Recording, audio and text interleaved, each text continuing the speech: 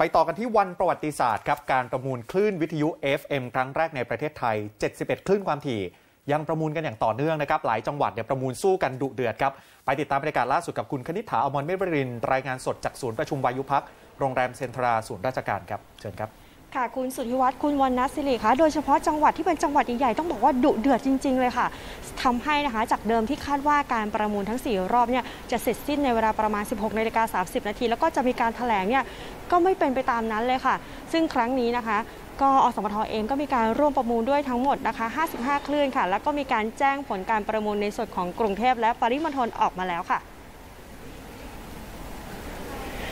โดยบริษัทอสมทจำกัดมหาชนนะคะ เป็นผู้เสนอราคาสูงสุดในการประมูลขึ้นความถี่ในระบบ FM จำนวน 6 คลื่นในพื้นที่กรุงเทพและปริมณฑลและเป็นผู้เสนอราคาสูงสุดรายเดียวค่ะ ได้แก่คลื่นความถี่ FM 95 FM 96.5 FM 99 FM 100.5 FM 107 และ FM 105.5 ค่ะ ก็เรียกว่าอย่างไม่เป็นทางการผลนี้ 6 คลื่นนี้เราก็ได้มานะคะ ด้านรองศาสตราจารย์เกษมสารโชติชาคอนพันธ์กรรมการผู้อำนวยการใหญ่บมจอสมทกล่าวว่า อสมทเป็นผู้นำธุรกิจวิทยุมาอย่างยาวนานค่ะ โดยได้ยื่นประมูลคลื่นความถี่วิทยุระบบ FM มากที่สุด รวม 55 คลื่นค่ะ นอกจากคลื่นความถี่ 6 คลื่นในกรุงเทพและปริมณฑลนะคะ ที่ได้ยื่นประมูลสูงสุด ยังมีพื้นที่ภูมิภาคอีก 49 คลื่นค่ะ โดยยื่นประมูลแต่ละคลื่นความถี่เนี่ยค่ะก็พิจารณาจากหลายปัจจัยค่ะ ไม่ว่าจะเป็นความสามารถในการสร้างผลกำไร ความแข็งแกร่งของเครือข่ายในการครอบคลุมพื้นที่ และความรับผิดชอบของเครือข่าย แล้วรวมทั้งบทบาทในภารกิจทางสังคมของอสมคเองนะคะ ที่มุ่งสร้างเสริมการเข้าถึงข้อมูลข่าวสารที่ถูกต้องให้ครอบคลุมและทั่วถึงค่ะ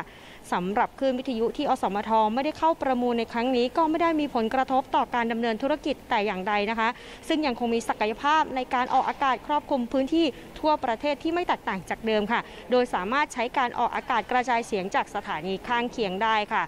สำหรับคลื่นวิทยุที่มีการเปิดประมูลในพื้นที่กทมนะคะ มีทั้งหมด 8 คลื่นค่ะ นอกจากอสมทที่ได้ไปแล้ว 6 คลื่น อีก 2 คลื่นค่ะ ก็มีผู้ประมูลสูงสุดรายเดียวเช่นกันค่ะ ได้แก่บริษัทลูกทุ่งเน็ตเวิร์ก 24 ชั่วโมงจำกัด ยื่นประมูลคลื่น FM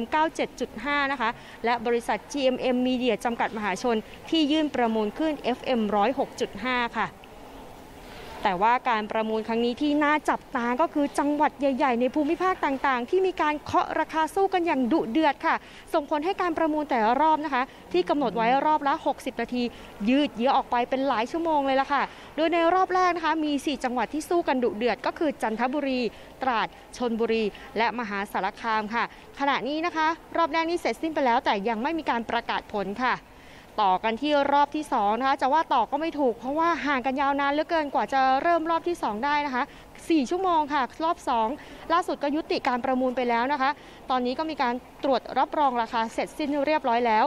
ที่ยืดเยื้อก็เพราะว่ามันดุเดือดยิ่งกว่ารอบแรกนี่แหละค่ะ หลายจังหวัดเลยค่ะ ไม่ว่าจะเป็นพิษณุโลกเชียงราย เชียงใหม่ สงขลา โดยเฉพาะที่นครศรีธรรมราชค่ะ ที่ราคาเริ่มต้นประมูลเนี่ยอยู่ที่ 9 0 0 0 0 0ค่ะ แต่ว่าราคาสุดท้ายที่เคาะพุ่งขึ้นไปถึงกว่า 27 ล้านบาทเลยทีเดียวค่ะ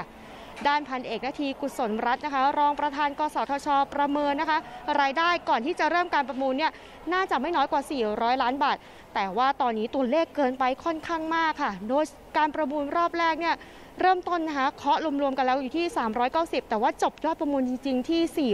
443 ล้านบาท แค่รอบแรกก็เกินแล้วนะคะ ส่วนรอบที่ 2 ค่ะ ราคาเสนอตั้งต้น รวมอยู่ที่7ล้าน6แสนบาทค่ะ แต่สุดท้ายเคาะจบที่ถึง 160 ล้านบาทโหสูงมากๆนะคะ รอบนี้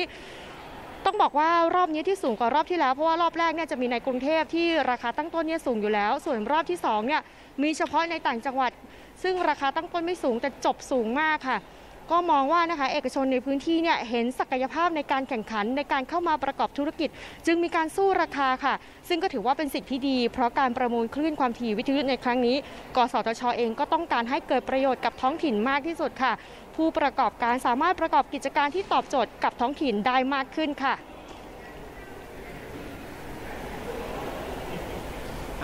ธุรกิจวิทยุเนี่ยเป็นธุรกิจที่ local มาก เพราะฉะนั้น คนที่เขามองเห็นโอกาส ก็คือคนที่เขาทำ local และประสบความสำเร็จ ก็มีรายใหม่ ๆ หลายรายที่เข้ามา จากเดิมสถานีวิทยุที่เป็นผู้ประกอบกิจการรายเดิมทั้งหมดเป็นหน่วยงานของรัฐ คราวนี้ก็หน่วยงานของรัฐที่เข้าประมูลก็มีแค่อสมทรายเดียวนะครับ ที่เหลือก็เป็นเอกชนทั้งหมด เพราะฉะนั้นมันก็จะเป็นการ ปฏิรูปประมูลครั้งนี้อาจจะทำให้ภูมิทัศน์ของสื่อเนี่ยเปลี่ยนไป สามารถตอบสนองคนในจังหวัดตอบสนองคนในท้องถิ่นได้ดีขึ้นนะครับ